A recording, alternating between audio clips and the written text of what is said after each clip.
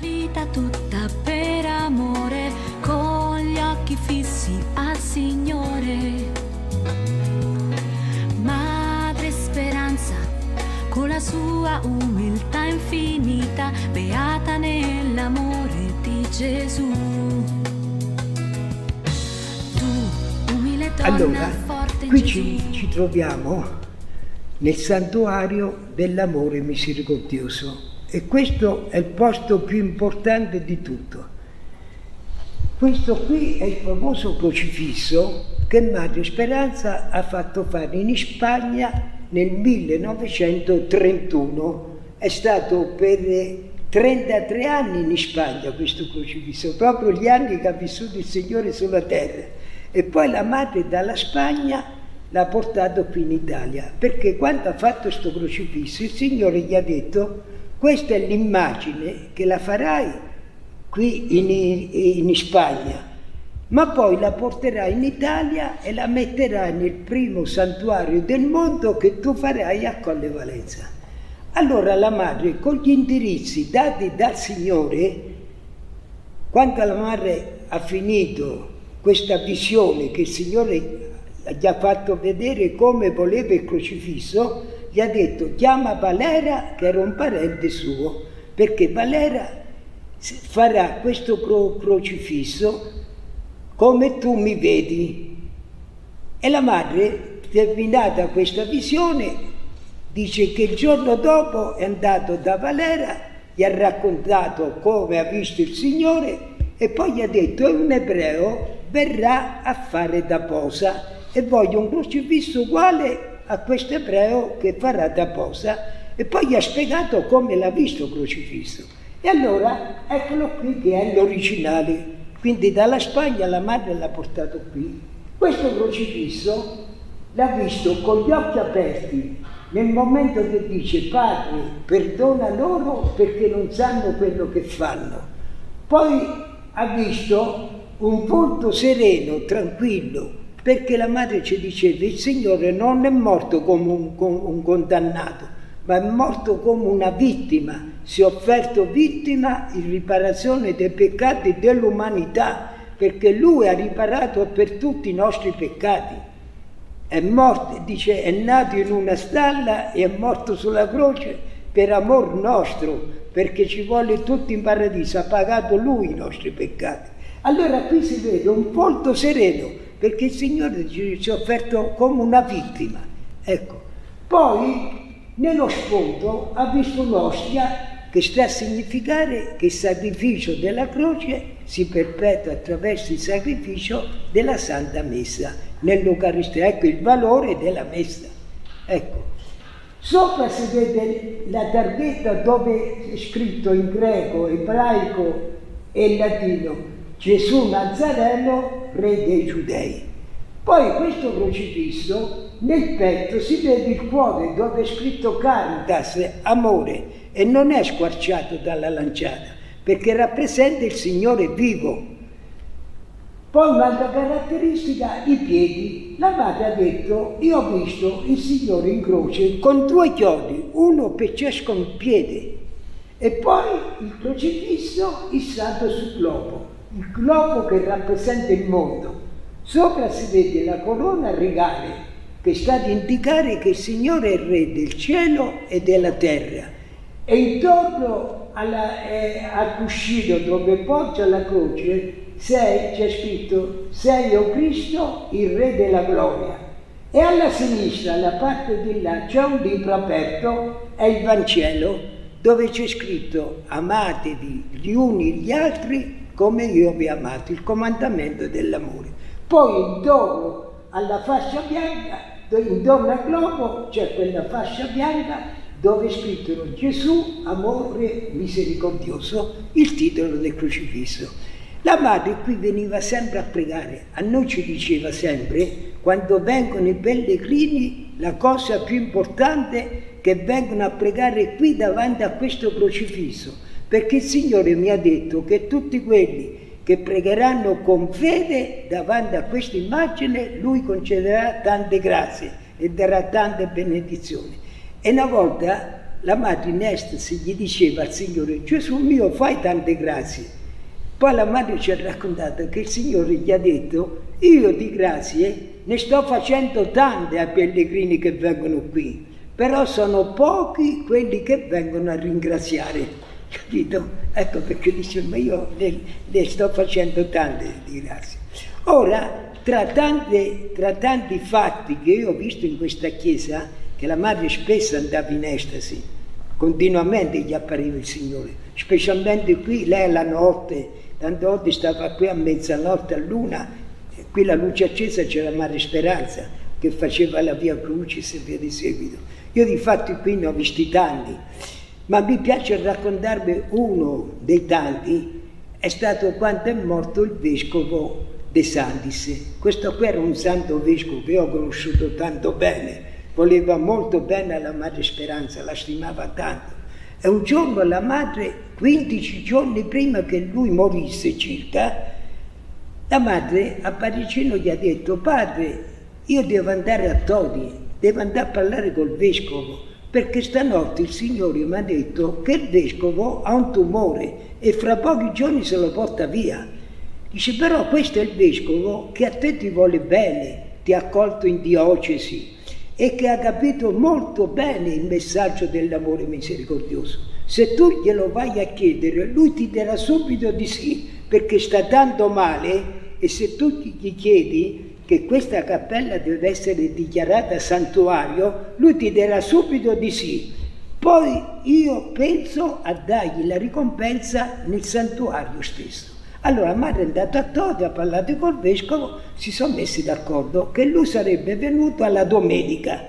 Poi, siccome gli diceva che stava tanto male, prega per me, la madre ha detto, però eccellenza, se lei non va all'ospedale a fare le lastre, a fare una bella visita medica, starà sempre male, si deve curare. Non gli ha detto che doveva morire, se no, dice, gli prendeva un infarto, mi moriva prima del tempo. Quindi l'ho, l'ho lasciato tranquillo, dice io pregherò tanto, però lei si vada a curare, vada all'ospedale. Il medico, il vescovo gli ha detto, Maria Speranza, domenica ti darò l'approvazione al santuario e lunedì andrò todo all'ospedale. E così ha fatto. Alla domenica ha dato l'approvazione come santuario dedicato a Gesù, amore misericordioso. Mi ricordo, Lampone lì ha fatto tre prediche, una prima, una durante la messa e una alla fine, tre, perché lui stando male non poteva parlare tanto. Però quando ha visto la chiesa piena, giù in fondo, la porta era aperta, tanta gente stava fuori, non entravano dentro. Allora lui a vedere tutta questa gente si è animato, finita la messa, altre parole ha detto. Era pieno d'amor di Dio, ecco. Poi dopo il lunedì è andato a passare la visita medica e gli ha trovato un tumore. L'hanno mandato subito a Roma io cerco di essere breve, sì. che la storia è molto lunga, cerco di, ecco, sì, sì. di, di abbreviare. Quando è andato a Roma, Papa Roncalli era compagno di scuola. Quando ha saputo che era grave, l'ha andato a trovare. Il segretario ha detto, hanno parlato sempre di Colle Valenza, di questo santuario, che il vescovo gli ha detto, io ho dato l'approvazione al santuario, ma non ho avuto il tempo per comunicarla a Roma ma il Papa ha detto non ti preoccupare perché qui per il Vaticano aggiusto tutto io, perché Madre Speranza è stata una grande, è stata una grande mistica. Dice quindi è una donna che poi è stata a Sant'Uffizio, conosciuta bene, hai fatto bene a dargli l'approvazione al santuario, perché noi nella Chiesa Cattolica non abbiamo un santuario dedicato a Gesù, amore misericordioso. Questo è il primo santuario del mondo, hai fatto bene. E dopo due o tre giorni della visita del Papa, Monsignor De Santis è morto, come la madre ce l'aveva detto 15 giorni fa. Però la madre ci ha detto, il Signore vuole che la prima messa si dica qui, perché qui gli darà la ricompensa. Allora, quando la bara da Roma doveva andare a Todi, era alle 6 della sera, aveva preso il permesso in diocesi, che la, la messa l'avrebbero detta qui al santuario alla sera e al mattino la messa solenne a Todi in cattedrale. Allora, quando è arrivata alla salma qui, la chiesa, questa era piena di sacerdoti, almeno una settantina, tanti erano, e alla prima fila c'era il prefetto di Perugia, le autorità civili e militari. Madre Speranza stava in quell'angolo lì con un gruppo di suore. Io mi sono messo vicino alla madre che sapendo tutta questa storia però Parigino a me mi ha detto Pietro non dire a nessuno che il vescovo c'è un tumore, che muore, perché la madre l'ha detto a me che sono il sacerdote, sono il padre spirituale, tu hai sentito tutto ma non lo di a nessuno, cioè quando saremo morti allora potrai parlare, ecco perché adesso lo racconto, perché i fatti veri sono questi. Allora io mi sono messo vicino alla madre, dico qui vediamo che succede durante la messa. Inizia la messa, dopo 7, 8, 10 minuti la madre va in estasi, gli appare il Signore che gli dice ti faccio vedere con quanta gloria questo vescovo entra in paradiso perché ha dato l'approvazione al primo santuario del mondo dell'amore misericordioso, dove qui verranno pellegrini da tutto il mondo. Poi il Signore è scomparso, dopo la madre ci ha raccontato tutte queste cose, adesso ve le racconto per semplificare. Dice, poi seguitata la messa e dopo poco la madre va in estasi una seconda volta, ma la seconda volta gli ha apparso il vescovo, qui c'era la bara, era la messa da morto. La madre da lì che gridava, eccellenza, quanto sei bello, prega per noi che stiamo, che, prega per noi che stiamo sulla terra, tu sei pieno di gloria, stai in paradiso, ti vedo che sei bellissimo, ma gridava. Il prefetto lì si è alzato, qui le autorità, i preti, tutti quanti lì. E io ho chiuso qui il barco con un po' di persone, se no la madre veniva soffocata, tutti quanti sbalorditi a sentire la madre che parlava col vescovo. E la madre dopo ci ha raccontato, io gli, gli ho fatto gli auguri al vescovo, ma quando ha parlato lui mi ha detto, Madre Speranza, Adesso mi fa gli auguri, mi vedi, mi vedi pieno di gloria perché sono in paradiso.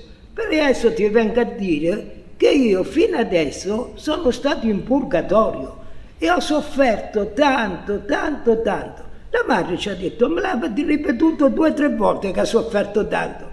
Allora la madre gli ha risposto, qui c'ero io con gli altri, tutti abbiamo sentito, che la madre gli ha detto, ma eccellenza, lei è morto ieri a Roma, stasera stiamo a celebrare la messa da morto. Sono due giorni che lei è morto. Perché mi dici che hai sofferto tanto? Il vescovo gli ha risposto, la madre dopo ci ha raccontato, che noi sentivamo solo la voce della madre. Le risposte poi la madre ce l'ha raccontato. Che vescovo gli ha risposto, Madre Speranza, io ho sofferto tanto, tanto in purgatorio. Io ho sofferto tanto di più dei, dei due giorni che ho passato in purgatorio sono stati molto molto più lunghi degli 80 anni che ho vissuto sulla terra. Devi dire a tutti che sulla terra una sola cosa è importante, amare Dio, tutto il resto non serve a niente. Io come vescovo ho avuto i miei difetti e quando si muore il corpo va al macero, ma l'anima si presenta davanti a Dio e quando si vede Dio è di una bellezza tale che se l'anima non è perfetta si vergogna e sente il bisogno di andarsi a purificare. Quando Dio poi scompare, l'anima senza la visione di Dio incomincia il purgatorio. E per me sto purgatorio, sti due giorni che tu mi dici che sono morte sono state molto più lunghe degli 80 anni che ho vissuto sulla terra. Perché? Perché una volta che si vede Dio è di una bellezza tale che l'anima sente il bisogno di andarsi a purificare in purgatorio. E ci va volentieri perché capisce che sulla terra, il periodo che mi ha dato sulla terra, non ho amato Dio come dovevo fare capito? Quindi dillo a tutti i pellegrini che vengono da te, a tutti devi dire che il periodo che stiamo sulla terra è una, è una prova che il Signore ci dona, ma sta prova la dobbiamo passare bene, dobbiamo amare Dio. Invece, stando sulla terra, viene dimenticato Dio. Allora tutti devi ripetere che la cosa più importante è amare Dio, il resto non serve a niente. Poi alla sera, dopo cena, siamo stati due ore con Madre Speranza che ci ha raccontato bene questo fatto. Adesso io ve l'ho detto in poche parole perché il tempo ne abbiamo poco. Ma questi sono fatti che io ho visto qui in chiesa, toccate con le mani, visti con gli occhi, sono cose da sbalordire, che la madre è stata un gigante di santità, gli appariva il Signore tre, quattro volte al giorno. Un altro fatto, poi chiudo, quando stavo giù in fondo, una sera è passata Madre Speranza, mi è caduta in ginocchio davanti a me, in ginocchio mi è caduta la madre. E io subito, io lì per lì ero convinto che si fosse sentita male, invece ho visto che stava con le mani giunte e dico, gli appassa il Signore. Infatti gli era appasso il Signore. E la madre stava a dire al Signore, figlio mio, perché lo chiamava figlio mio al Signore. Gli diceva, figlio mio, io vengo dalla dispensa che le suore mi hanno portato a vedere, c'è il serbatoio dell'olio, 10 ettolitri, comprato da poco tempo, c'è finito Adesso mi ha fatto vedere anche le bottiglie, finita. Mi ha detto che stasera staranno tutti senza condimento. Ma in Spagna, quando io avevo tanti bambini, tu mi moltiplicavi sempre i viveri, avevo la dispensa sempre piena. Qui devi fare la stessa cosa, figlio mio. Adesso queste vogliono che le vada a comprare l'olio, ma io non ho una lira in tasca, ho debiti da pagare. Ma tu che puoi far tutto, dagli una bella benedizione, fammi trovare il serbatoio pieno, figlio mio. Queste erano le parole che la madre diceva, io stavo lì con le suore a sentire. Poi finita l'estasi, che è durata un'ora, le suore sono corse tutte in cucina per preparare la cena. Io sono rimasto con madre speranza. Perché i sacerdoti gli dicevano, madre, è stata sempre a chiedere l'olio al Signore, che risposta ti ha dato? E la madre ci diceva, eh, la risposta del Signore non me l'ha data, però lui sa tutto, vede tutto e mi aiuta. Lui sa che giù non c'ho l'olio e stasera mangerete scontito. Quindi lui lo sa, dice non c'è bisogno e la risposta non me l'ha data. Però figlio mio dobbiamo avere tanta fede nel Signore, che il Signore è un papà, ci vuole bene, ci aiuta sempre. Dobbiamo pregare e dobbiamo avere fede nel Signore. Mentre stavamo a parlare così, erano passati 7-8 minuti che le sorelle erano uscite, sentiamo strillare, perché dalla cucina che è di là si sente qua. Allora a me, avevo 22 anni, 23 anni, mi dice Pietro, vai un po' di sotto a vedere perché le suore strillano tanto, che è successo? Qualcuno sta male. Allora io preso, sono andato di cosa che mi dispiaceva, a me mi piaceva stare con la madre a sentire quello che diceva, però mi ha detto di andare a vedere e sono andato a vedere. Vado di corso in cucina, trovo la superiora, tutte, dico madre ma che, che fate che strillate tanto? Che qui mi ha mandato Maria Speranza e Parigina a sapere che è successo. Dice Pietro, tu stavi vicino alla madre e non hai capito niente. Gli ho risposto, ma che devo capire? La madre in estasi stava a chiedere l'olio al Signore, questo ho capito. Allora il superiore dice, noi prima di venire in chiesa l'abbiamo portato a vedere il serbatoio di 10 ettolitri che era vuoto, con le bottiglie dietro tutto vuoto. E la madre ci dice sempre di pregare, ma una settimana che glielo stiamo a chiedere, lei ci dice sempre di pregare. Però stasera siamo rimasti senza niente. Prega, abbiamo pregato, però l'olio non c'è. Dice adesso, tu hai sentito che la madre stava a chiedere l'olio, così eh, stavo lì a sentire. Dice noi siamo venuti qui, ci siamo sbalorditi perché il serbatoio usciva un po' d'olio. Lo vanno a aprire, era pieno d'olio.